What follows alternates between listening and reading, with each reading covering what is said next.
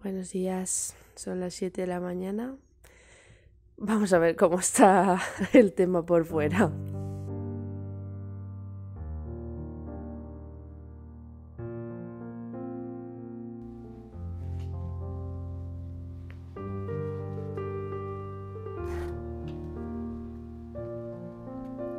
Vaya liada.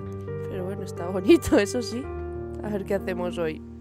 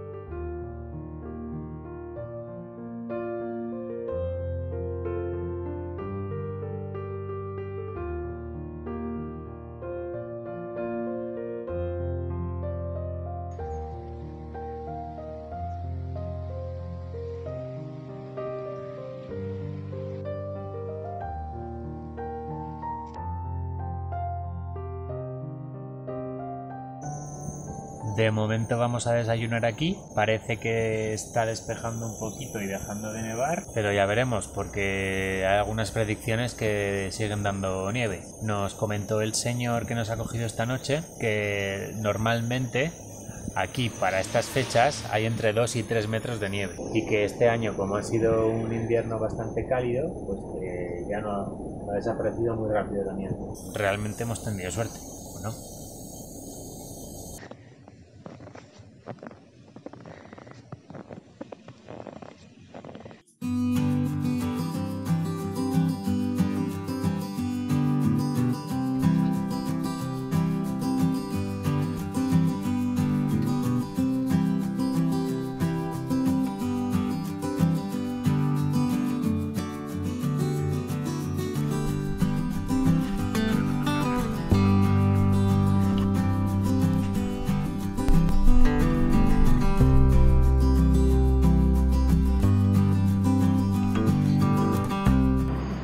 Bueno, actualización de la situación. Donde hemos dormido, el señor ha cogido su camioneta, nos ha metido las bicis atrás, ha venido su hijo con sus tres hijos, o sea, los nietos del señor. Nos hemos metido en el coche, hemos cargado alforjas, bicicletas y todo.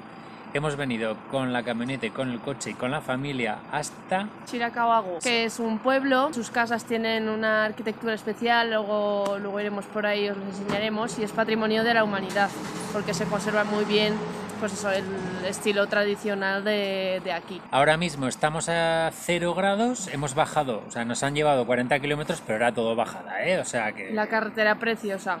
Sí. Estaba todo, claro, nevado, había un embalse todo el rato a un lado, bueno, nos habría gustado pedalear por ahí, lo Sí. que pasa es que, claro, estaba nevando, hacía un frío de que pa' qué, el- la carretera estaba resbaladiza, entonces no era plan y se han ofrecido a llevarnos, así que hemos hecho nuestra primera trampa del viaje. Bueno, más que trampa, yo lo consideraría como que nos han rescatado, porque si no, eh, ahí estábamos. Porque Sí. ahora, por cierto, está nevando, no sé si se aprecia.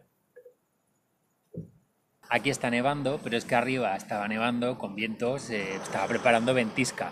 Sí, sí, sí. Y no había ni pueblo, no, no había nada, estábamos en medio de la nada, como Mm. habéis visto en las imágenes del dron, no había absolutamente nada. Y básicamente nos han rescatado. Ahora estamos aquí, en teoría esto ya es un pueblo, mañana hace bueno, eh, podemos ya bajar hasta la playa, que aunque llueva seguirá, será lluvia, no será nieve. Veremos cómo, cómo acaba todo esto. No os lo perdáis, próximos episodios.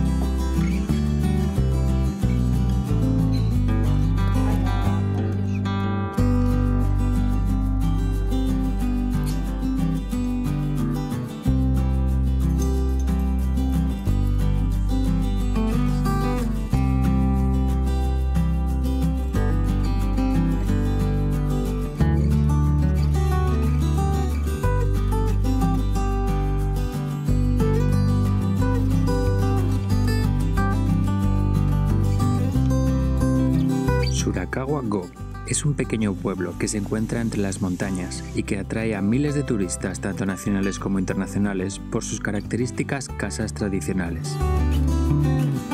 Al ser una zona de mucha nieve, estas casas poseen gruesos tejados hechos de paja que las protegen durante el invierno.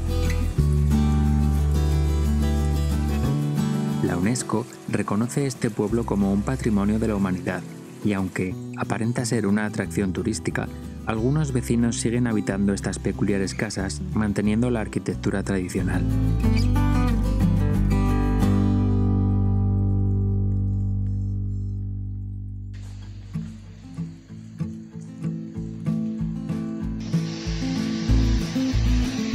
Este era uno de los sitios que estaban marcados en nuestra ruta desde que empezamos a planear este viaje. Lo más típico es intentar visitar el pueblo después de una nevada para ver la bonita estampa de los tejados decorados de blanco. Nosotros llegamos a Sihuacahuagó nevando, y aunque no había cuajado mucho, nos encantó pasear por sus calles y viajar en el tiempo. Incluso nos sentimos afortunados por estar allí aquel día a pesar del mal tiempo y del frío. De hecho, nos gustó tanto que decidimos volver a la mañana siguiente, esta vez con buen tiempo, para grabar bien el precioso paisaje en nuestra memoria.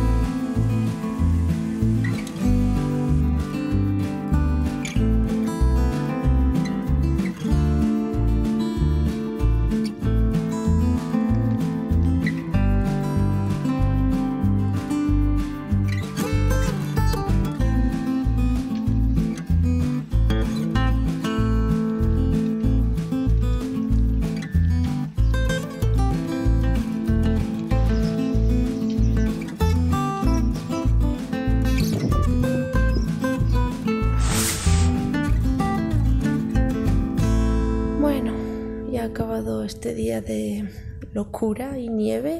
Mm, mañana por la mañana os enseñaremos dónde estamos durmiendo, pero hemos conseguido un sitio para poner la tienda con cuatro paredes y un techo. Fuera hace muchísimo frío, va a hacer menos 7 grados, ¿has dicho?